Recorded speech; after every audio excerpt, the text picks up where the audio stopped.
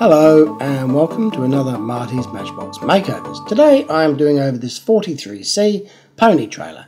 It's a bit whiffy in there and I can't understand why. Maybe it's had too many ponies in it.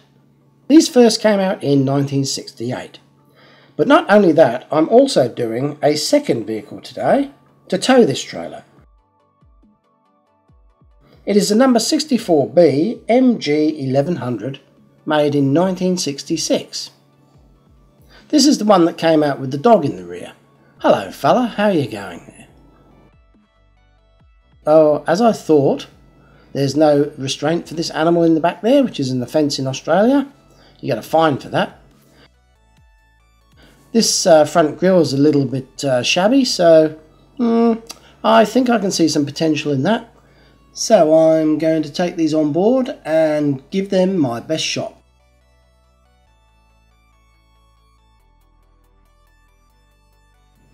Well, there's not much green paint left on this vehicle and uh, the interior is a little bit dirty.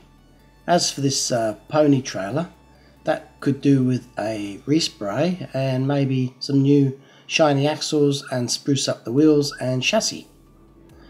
So to begin with, I'm going to have to remove only one rivet on this model. The rear rivet's held in with a tab, so that makes it a little bit easier. On the downside, there is a bit of a dent in the roof that I'm going to have to fix. There's a little close-up of that dog in the back there. I think it might be a collie. And just for a change, on the back there, the tow hook is actually in good condition. Here's a quick inspection of the trailer. Once again, there's only one rivet to remove on the base. The tow hitch is sturdy and in good condition. The rear tailgate works well. Uh, there's a few scratches in this uh, transparency that I should try and clean up, but I can't guarantee that it's going to look brand new at the end of this makeover. Here's the type of screws I use when I'm putting it back together. They are M2 screws. They are 2 millimeters in diameter and therefore when I drill out the hole to tap to accept the screws during the rebuild I will use a 1.4 or sometimes a 1.5 mil drill bit to drill out the hole. I then screw them in using this hand chuck with a small Allen key placed into the end of it. This is a close-up of the screw tap that I use to cut the thread. So let's get on with it. First of all, obviously I put the model in the vise then using my 1.5 drill bit, I drill out the rivet post. It's self-centralizing of course because I'm doing this first. And that bit of tape around the drill there is to make sure I don't go too deep. So after I've drilled the center hole, I now remove the edge of the rivet so I can remove the base. To do that I use a slightly larger drill. I lift the front out first, followed by the rear, because the rear is held on by that tab, you see. Now, on inspection, I think I've maybe butchered this post a little bit, so I'll have to file that flat. Inside we've got these plastic parts here, we've got the interior plus this plastic suspension spring. I pop that off, you can see it's kind of curved. Ideally they want to be flat. That way the suspension will work better on the model. Now here's an interesting thing, the interior would have looked like this when it came out of the plastic moulding and it had to be folded before it could be inserted into the model. To remove this windscreen I'm going to use a very shallow cut drill to remove the edge of this rivet and then it will just pop out like this. Looking at this windscreen I can see it's got a bit of a gouge in the front there so I'm going to have to sand that back with some fine emery paper. Here's a close-up of the butchered uh, post. So I file it flat and then I can cut a screw thread in it using my tap. Here I am test fitting that uh, M2 screw and it looks quite good. I removed the wheels off the base using my Dremel by wearing away the end of the axle.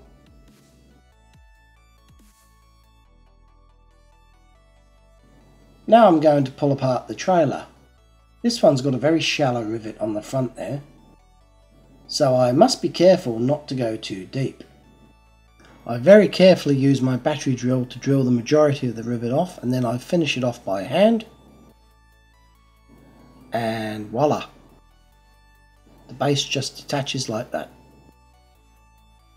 That was quite easy. To remove the tailgate you have to open it up and lift it up like that out of these grooves at the rear. These are in very good condition.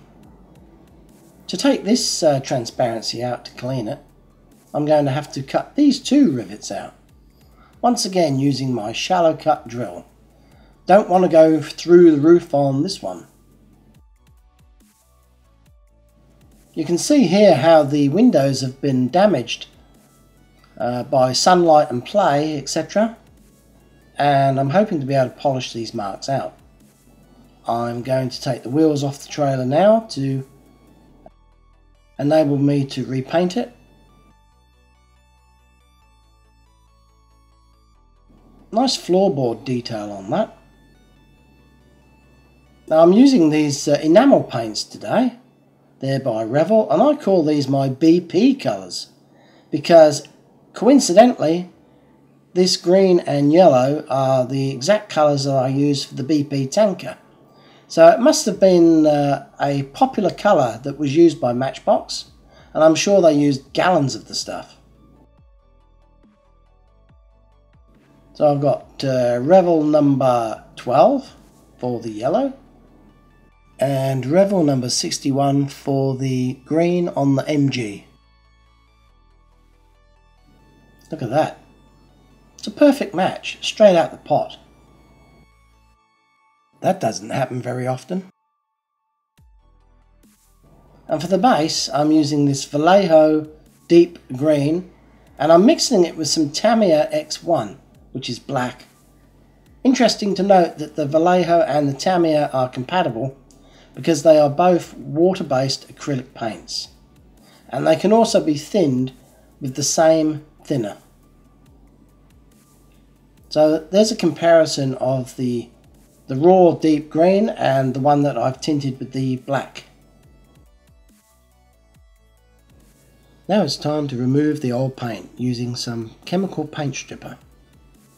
I'm wearing rubber gloves today so I don't get any on my fingers. Sometimes I hold these parts with the forceps, other times I use my hands. Depends what mood I'm in.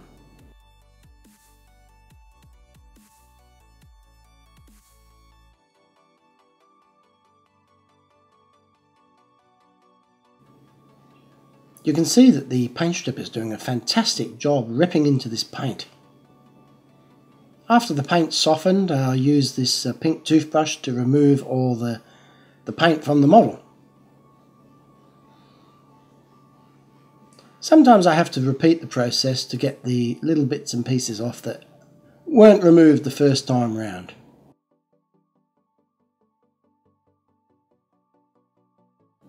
After I removed the paint, I polished the models using some wire wool. This just helps to remove any imperfections and prepares the model for undercoating and repainting. This MG1100 had a slight dent above the windscreen. I removed it using the rounded end of my centre punch and just tapped it out using these uh, pliers as a hammer. There, I'm happy with that. Now I was a little bit overzealous whilst I was uh, removing the paint from this trailer and I actually snapped the rear brace off. I'm a little bit annoyed with myself, I'm going to have to repair it now, so I've made myself some extra work. Luckily, a company called Starbond in Los Angeles sent me some sample super glues to use. They uh, sent me quite a variety. There's some thick filler super glue. There's a black medium thick. There's a brown medium that can be used on wood. Uh, but I'm using this medium clear today and I'm going to test it out for the first time. and hopefully it can fix this uh, model for me. And if you need an instant bond you can use this accelerator. Today I'm just using it straight out of the tube. So this is a first for me, these are industrial strength adhesives and I'm very pleased to be given the opportunity to test them out.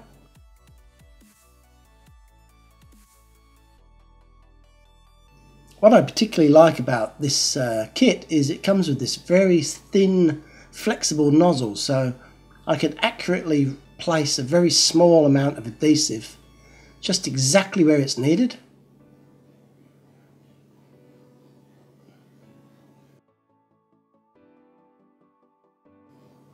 And I very carefully place it back together, trying to line up the cracks.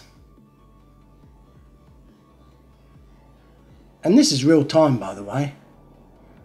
So I've held it for about five seconds. And it seems to have glued quite well. Um, it's so thin, this glue, that it hasn't made any gap appear between the two bits of metal. This red cap's to cap the uh, tube to prevent it from clogging up, which is a great idea also. Now look at this. This is like a minute later and it's really quite solid. So thank you Starbond, you've saved the day. Okay, now it's time to undercoat the model. I'm using the Tamiya Fine White undercoat for this model. Goes on great, look at that.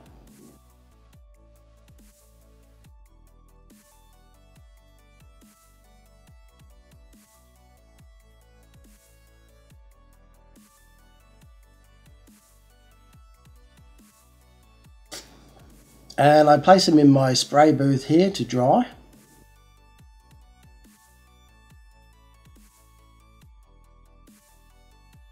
After they're dry I give them a quick inspection to check for any uh, imperfections or clods of paint or maybe some foreign debris that might be uh, stuck to them. But these look pretty clean. So no problems there. I do love the detail on these So Check out that grill below the windscreen. Here there's a little tiny fuel cap on the back there, which is lovely. It's got number plate and an MG badge. Can you see the MG badge there on the right? Superb detail that many a kid, myself included, would never have even noticed. We just used to throw them around, but when these came out, they were works of art. Here's the uh, green paint that I mixed up for the trailer base. So I'll paint that now. Looks good. Looks just like the original colour. I love it. See how I'm holding the piece with the forceps just on the little axle point there. I'm going to touch that up with a paintbrush later when it's dried. Now I'm going to paint the MG with this Revell green paint, remember, number 61. Thin it down with some mineral turps, about uh, one third, one quarter to one third of mineral turps. I find it helps it level off really quickly and you get a nice high gloss finish with these enamel paints. This might actually be a little bit watery, but I think I managed to make it work. Just have to keep it moving as I'm spraying it so there's no runs appear. That looks gorgeous. I won't even have to use any uh, top coat for this. Now I'm going to do the same with the trailer. Again I've thinned it down with some turpentine.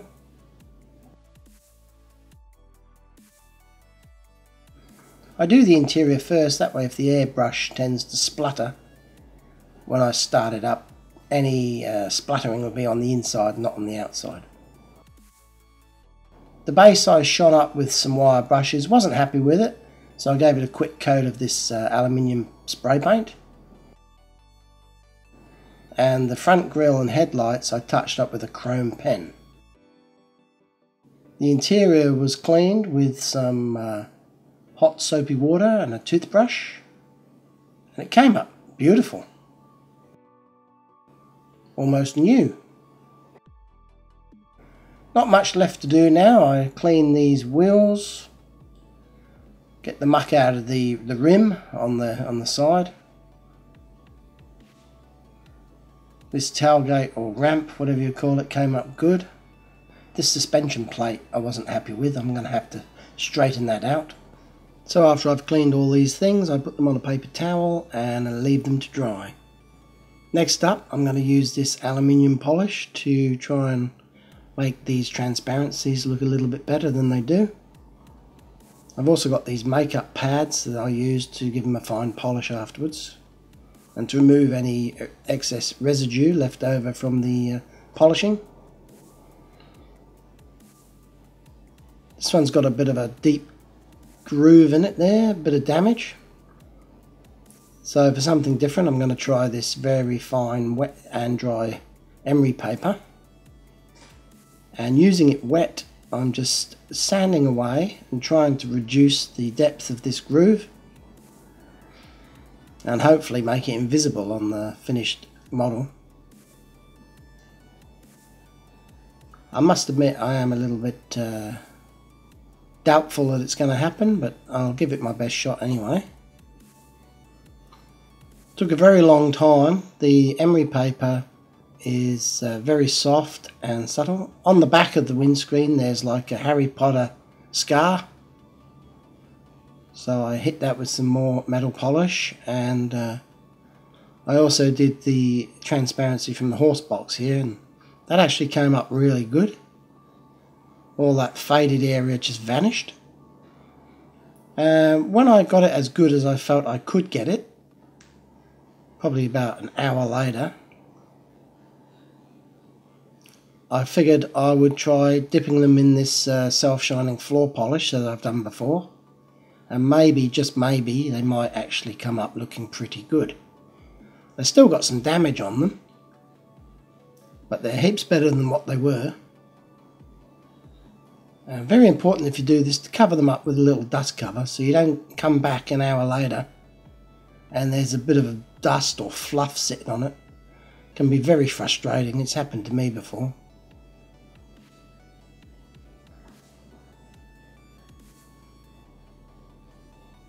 I'm going here for a double dunk. Can't remember why, obviously wasn't happy with the first time around.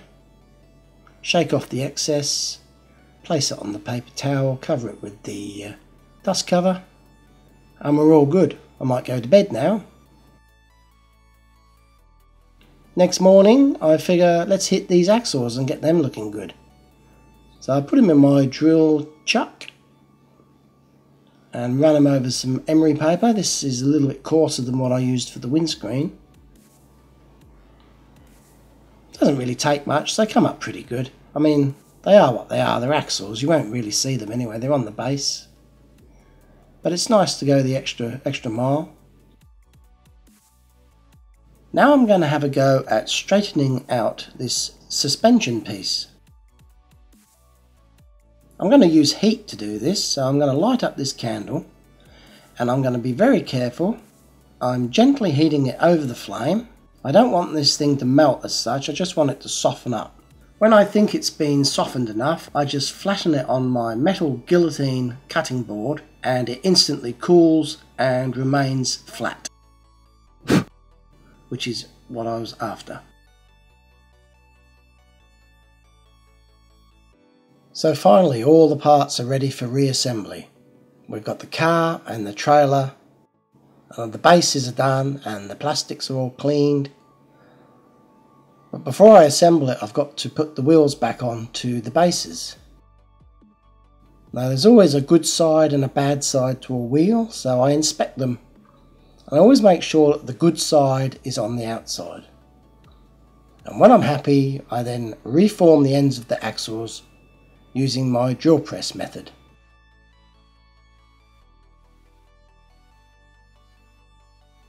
Beautiful. Just like a bought one. That was the front wheels, now for the rear.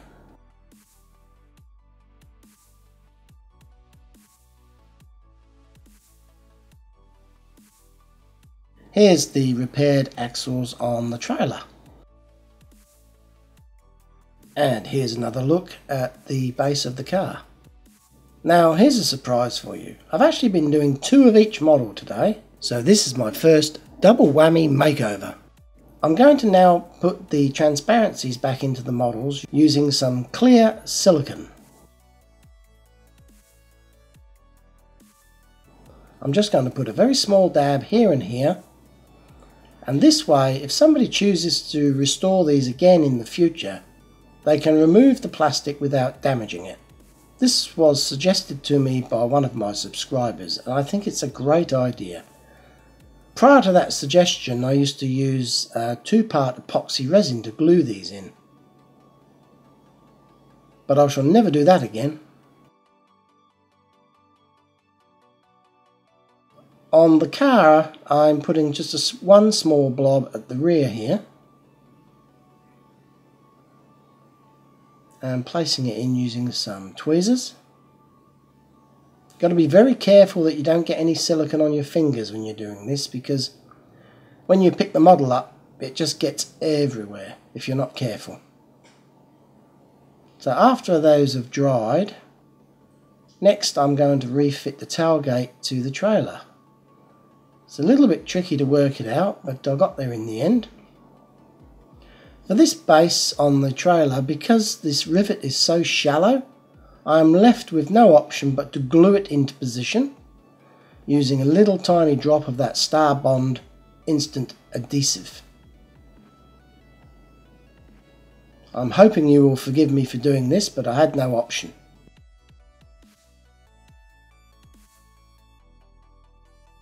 Now back to the car, I put the interior back in.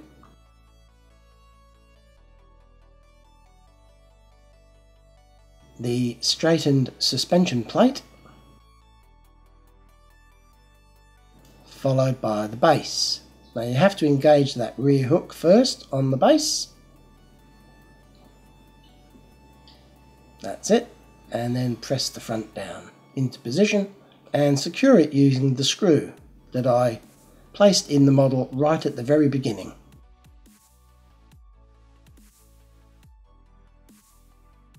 That looks great.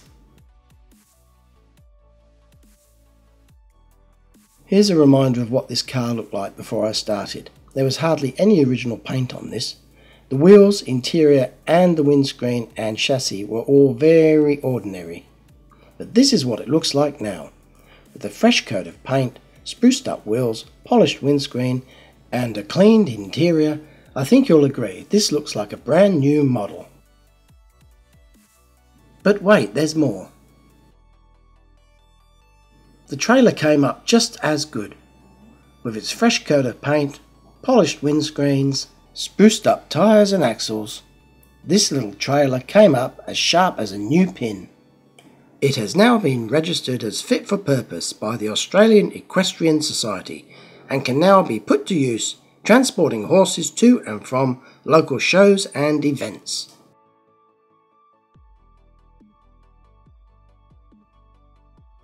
I would like to thank the following people who helped to make this happen. Richard Andrews, who donated the horses, Eric Costello for sending me a trailer, and Levi Petty for sending me an MG 1100. Without your contributions, this video would not have been made.